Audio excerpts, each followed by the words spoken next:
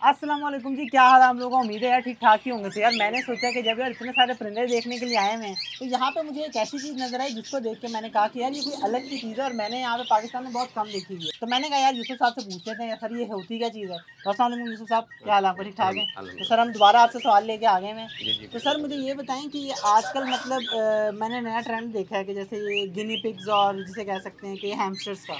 तो इसके हवाले से बताएँ कि ये कहाँ से है पाकिस्तानियों को? मतलब पाकिस्तानी तो बड़े वो हैं इन चीज़ों को लेके, जैसे कह सकते हैं कि आम अल्फाज में अगर बात करें तो ये बेसिकली चूहा लगता है एक किस्म का। तो इनमें और उसमें फ़र्क क्या होता है? थोड़ा सा मशाबे ज़रूर कह सकते हैं लेकिन हम्म। चूहा नहीं है और ये गिनी पिग एक अलहदा से नस्ल है और दूसरा हैमस्टर भी एक अलहदा से नस्ल है और ये ज़्यादातर ये कह लें टेम पेट में आ जाते हैं और ये कह लें टेम्स हैं और ये कह लें कि नुकसान नहीं पहुंचाते किसी को भी किसी मतलब इंसान को। ये आप घरों में आसानी के साथ रख सकते हैं। आप ये काटते नहीं हैं आपके साथ यूज़ टू हो जाते हैं। ठीक है ठीक है। तो ये जो गिनी पिग्स होते हैं और ये जो हैमस्टर्स हैं इन दोनों में बेसिकली फ़र्क क्या है। एक तो ये बड़ा होता है थोड़ा सा। साइज़ का ही डिफरेंस है और बाकी ये कह लें खैर नस्ल का तो फ़र्क है हाँ, तो हाँ, हाँ, हाँ, हाँ. तो सर ये जो मैंने देखे हैं पहला तो इसमें बेसिकली इनके अंदर और जो माउस होते हैं उसके अंदर बेसिक ये हैमस्टर के अंदर फ़र्क क्या क्या होता है? एक तो मैं ये देख रहा हूँ कि इनकी दुम नहीं है।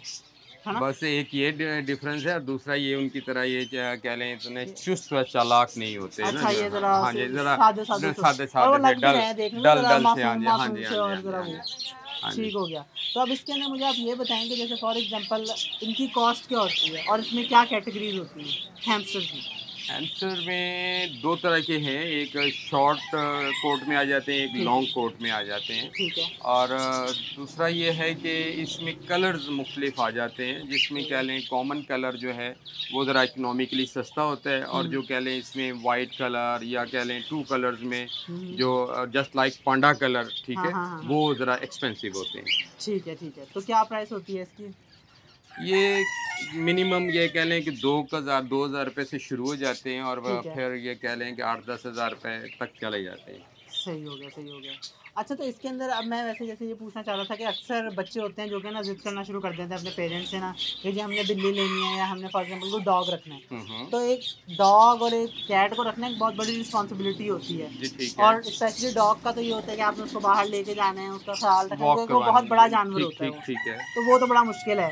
तो अगर हम कंपेयर करेंगे बिल्ली के मुकाबले में और इसको रखना तो इनको रखना मेंटेनेंस वगैरह क्या होती है? इसका बहुत आसान है जी इसके तो केज अवेलेबल है इसमें इसको केज में रखा जा सकता है। और ये कह लें बहुत कम सी जगह घेरते हैं और इसका गंद भी नहीं है इसका शोर भी नहीं है किसी भी किस्म का। और दूसरा ये है कि ये अगर आप इसे ओपन भी छोड़ना चाहें हाँ, हाँ। तो ऐसे बॉल हैं जस्ट लाइक ये बॉल है मेरे पास। अगर इस बॉल में अगर हम डाल दें तो ये इसमें भी ये यूज़ घूमता फिरता अच्छा इसके अंदर ही इसके अंदर ही घूमता रहेगा ये तो बड़ी कमाल की चीज़ है। हाँ जी। अच्छा तो जैसे फॉर एग्जांपल अगर कोई बच्चा वगैरह इसको खरीद लेता है और रखता है तो ये खाते क्या? अच्छा इसकी फ़ीड जो है वो मिल जाती है लेकिन वो हमारे पास मिल जाती है। इसके अलावा ये कह लें सब्जियों में खीरा वगैरह बड़े शौक से खाता है गर्मियों में। सलाद पत्ता भी खा सकता है ठीक है।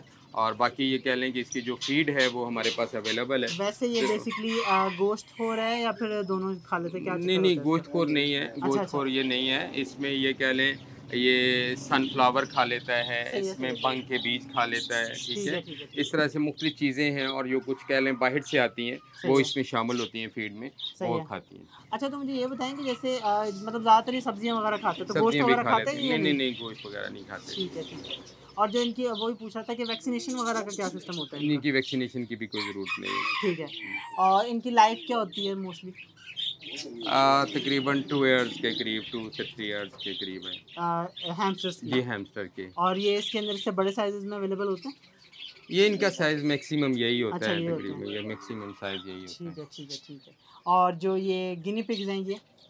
गिनी पिग्स का साइज़ इससे कदरे बड़ा होता है अच्छा, और अच्छा। आपके पिजन से छोटा होता है अच्छा, ठीक अच्छा, है पिजन अच्छा। से काफ़ी छोटा होता है सही, सही। और उसकी खुराक वगैरह भी यही है सब्ज़ा वगैरह वो खाता है ठीक है उसके अलावा ये कह लें जो इम्पोर्टेड खुराक आती है उसकी वो भी वो उसे मिल जाती है।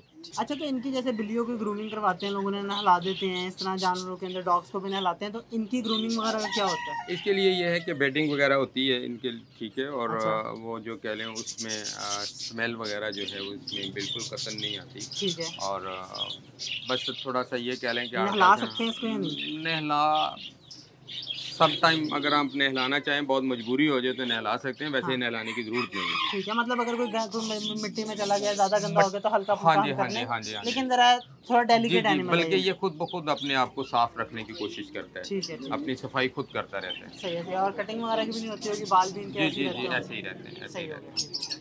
तो चलें यूसुफ साहब बहुत बहुत शुक्रिया आपसे मिलकर बड़ा अच्छा लगा। और आप लोगों को भी आज एक नए शौक के बारे में पता लगा होगा कि यार अगर आप फॉर एग्ज़ाम्पल बिल्डिंग नहीं पाल सकते और एक डॉग की रिस्पॉन्सिबिलिटीज़ नहीं ले सकते तो ये इस तरह के हैमस्टर और इस तरह के गिनी पिग्स आपके लिए बड़ी अच्छी अपॉर्चुनिटी है। तो यार आप क्या करते हैं यार? अगर आपका मूड बन गया कि यार आपने पेट रखना है तो जाके वीडियो अपने घर के अंदर किसी को दिखाएँ जो बड़ा होता है, जो मान नहीं रहा होता, और उसे पूछ के देखेंगे यार क्या हम इस पेट को रख सकते हैं या नहीं रख सकते। तो अगर वो मान जाते तो यार बड़ा आसान से तरीका है ओलेस के ऊपर जाना है, वहाँ से जाके अपनी मर्ज़ी का जो आपको प्यारा लग रहा हो ना, वो वाला पेट चूज़ करना है और अपने घर ले आना है। तो आप क्या करना है? एक काम रह गया है, नीचे सब्सक्राइब का बटन आ रहा होगा, उसको दबा के जाना है। लाइक कॉमेंट शेयर करने की ज़रूरत होगी भी है ना आपको। तो इन मुलाकात होगी के अंदर। अल्लाह हाफिज़।